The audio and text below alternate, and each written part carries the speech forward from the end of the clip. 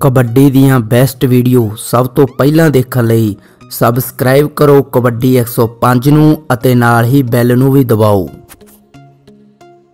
ਆਪ ਦੇ ਆਪਣੇ ਚੈਨਲ ਕਬੱਡੀ 105 ਉੱਤੇ ਆਪ ਦਾ ਸਵਾਗਤ ਹੈ ਦੋਸਤੋ।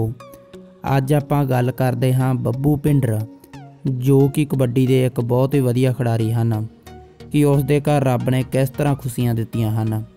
ਵੀਡੀਓ ਨੂੰ ਤੁਸੀਂ ਸ਼ੁਰੂ ਤੋਂ ਲੈ ਕੇ ਐਂਡ ਤੱਕ ਦੇਖਦੇ ਰਹੋ ਅਤੇ ਜੇਕਰ ਚੰਗੀ ਲੱਗੇ ਤਾਂ ਇਸ ਨੂੰ ਲਾਈਕ ਅਤੇ ਅੱਗੇ ਸ਼ੇਅਰ ਜ਼ਰੂਰ ਕਰਨਾ।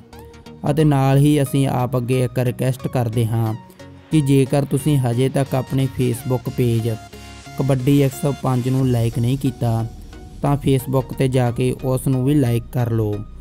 ਦੋਸਤੋ, ਬੱਬੂ ਪਿੰਡਰ ਕਬੱਡੀ ਦੇ ਸਟਾਰ ਜਾਫੀ ਹਨ। ਪਰਮਾਤਮਾ ਨੇ ਉਸ ਘਰ ਖੁਸ਼ੀਆਂ ਦਿੱਤੀਆਂ ਹਨ। ਅਤੇ ਪਰਮਾਤਮਾ ਨੇ ਉਸ ਨੂੰ ਇੱਕ ਬੇਟਾ ਅਤੇ ਇੱਕ ਬੇਟੀ ਦੀ ਦਾਤ ਬਖਸ਼ੀ ਆ।